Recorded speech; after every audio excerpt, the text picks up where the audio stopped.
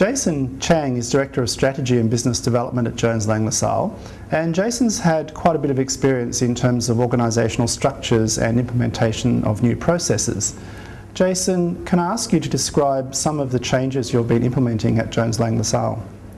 Jones Lang LaSalle is a very fast growing company uh, in China. Um, the retail business has only been developed uh, within the last five years. Um, uh, as any business we develop, uh, the primary focus in the beginning will be on business side of it.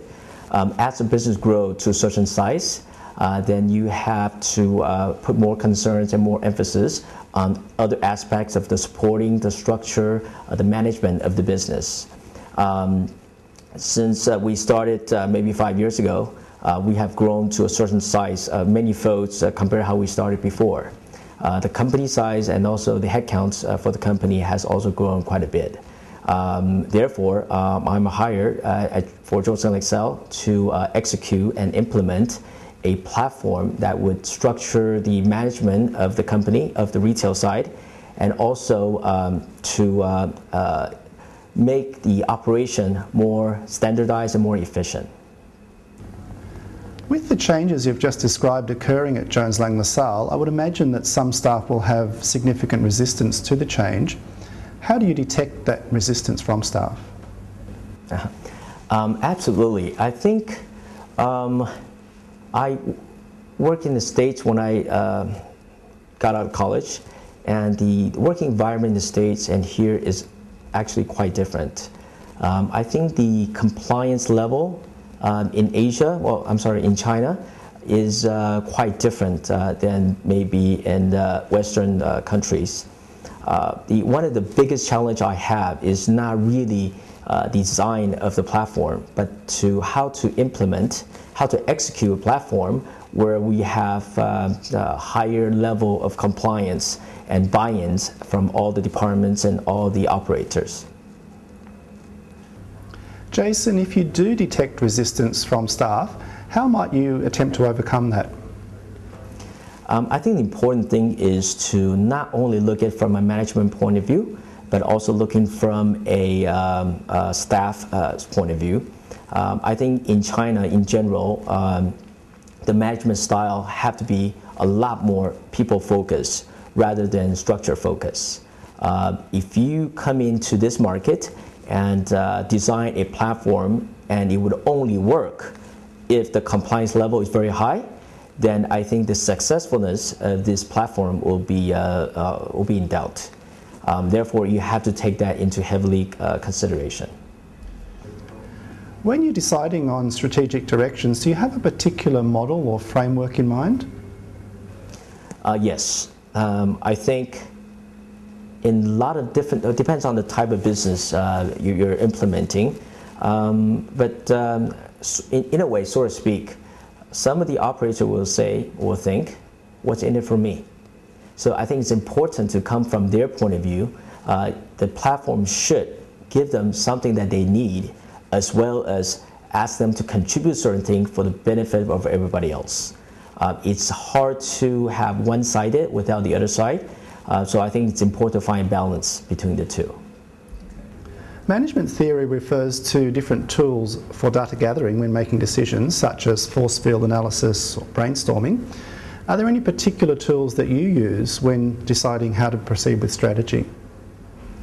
Um, I think it is important to have uh, data. Uh, from uh, my experience as a strategy uh, analyst or um, director, um, I've noticed that uh, our common sense is about 80% correct. The other 20% we're usually way off because we think certain things will happen because a certain way, uh, but in reality, if you look at the actual figures, it doesn't. And it is that 20% of variance that we try to discover in every business, in every um, uh, organization, uh, to try to identify these 20% and see what we can do to improve the situation. In the West, it would be quite acceptable and common for someone like yourself to hold a meeting with staff to brainstorm some ideas and come up with some solutions. Is that approach applicable here in Beijing? Yes, it is. Um, however, in the uh, discussion forum, the, uh, the atmosphere is a little bit different uh, in China. uh, people are less outspoken.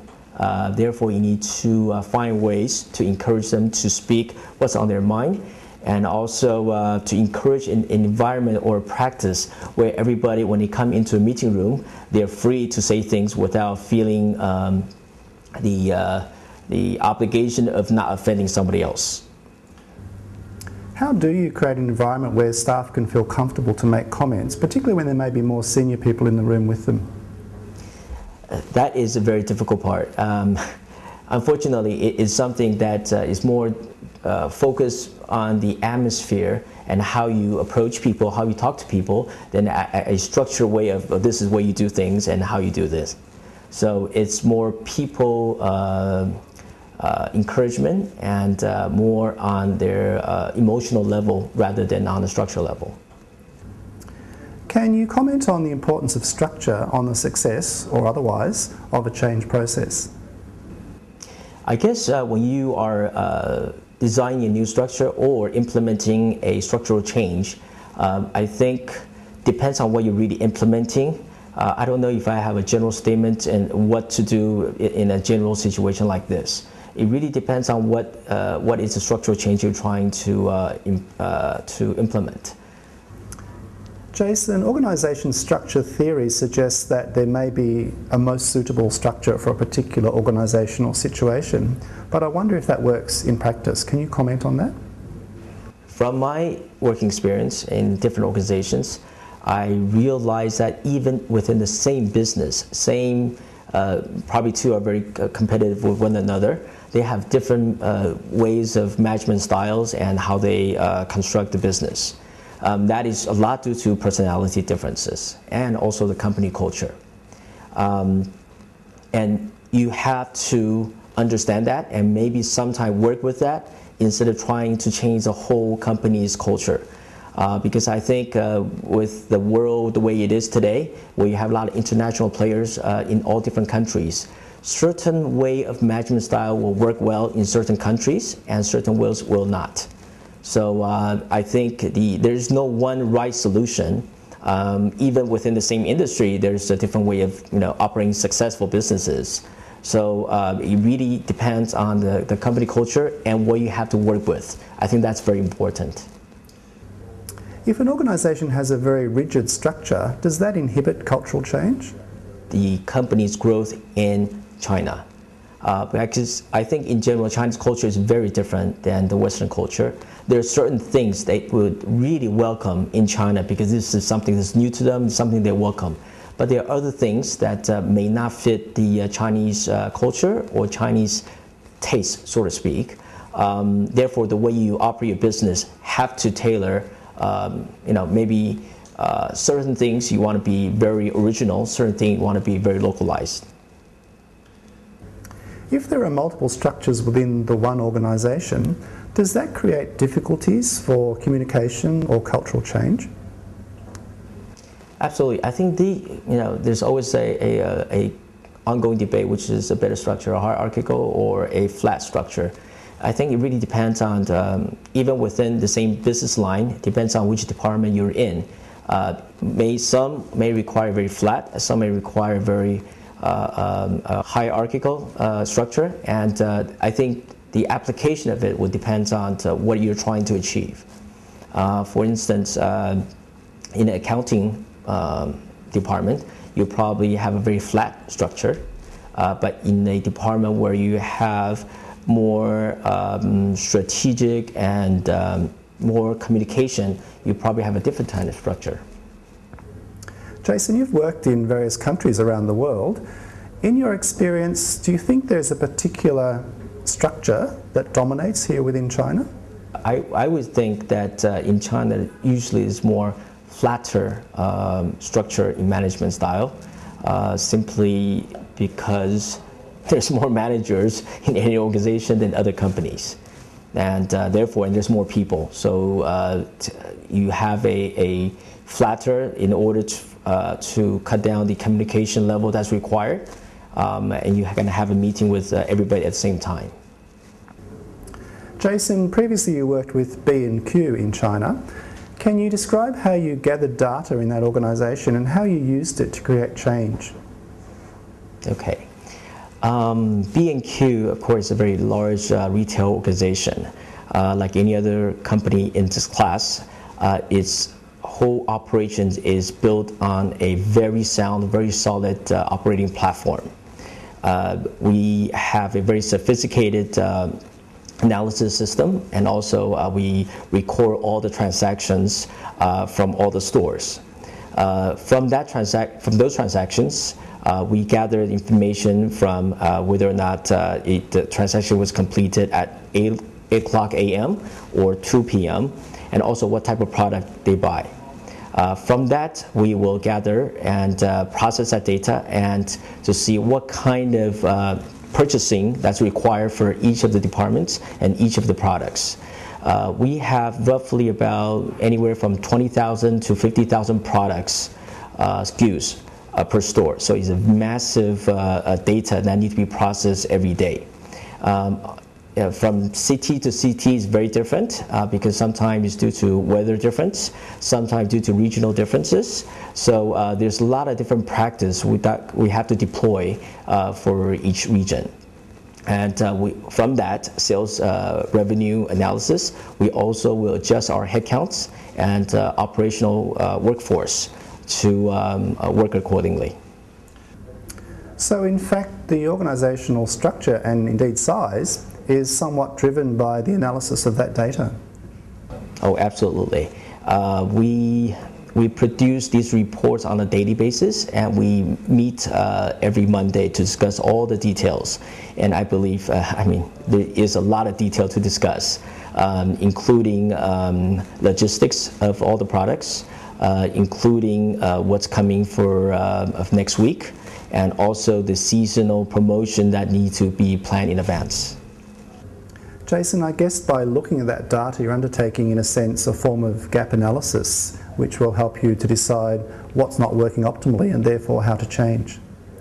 Absolutely.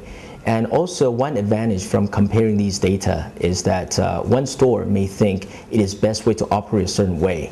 Uh, without uh, these actual data, it's really hard to convince the uh, store managers to operate a certain way. Um, like I said uh, earlier, I think 80 or 80% of our common sense is probably correct of our experience, but the other 20% need to be really analyzed and be uh, supported by hard uh, evidence and facts.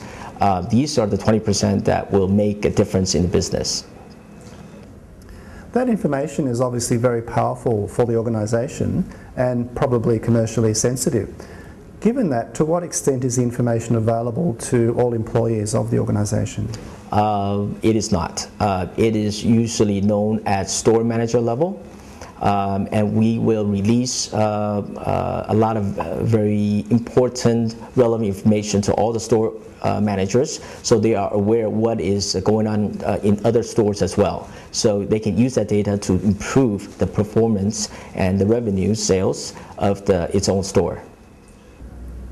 Knowledge management theory suggests that you more, the more you share the information with employees, the more likely are to subscribe to the ideas and the change processes. But then, of course, there's the issue of commercial sensitivity. Is there a problem striking a balance between those two imperatives? Um, actually, that is not a uh, big challenge because uh, there is certain information that's, you know, um, like for instance, sales revenue. Uh, that is something that we uh, we release to all employees. Uh, they want to know, everybody wants to know what is the performance of their department or the whole store. Uh, this is a definitely a, uh, a uh, revenue driving uh, tool that we can put in place for all the stores. Um, of course, on the cost side, it's very obvious that we don't release any information on the cost. So actually, the, the, the distinguish the line that you draw is very clear, very easy to define. Jason, how do employees access the information that you've made available for them? Okay. Um, all the data is processed through a, uh, a central CP, uh, I mean central unit, and then the information is collected from all the regions into a central computer. And then from that uh, raw data, we would uh, uh, we have actually business intelligence uh, specialists that will analyze these data and process them, and then make them into reports. There's different level reports for CEO down to the store managers. So uh, it depends on the, the level. Uh, you may want to look at different things. Uh, on the store manager level, obviously, we would like to look at more uh, micro um, on the product level, uh, whereas the uh, CEO will look at the more macro and pan China level. Jason, thank you for your comments. They've been very valuable in understanding aspects of knowledge management.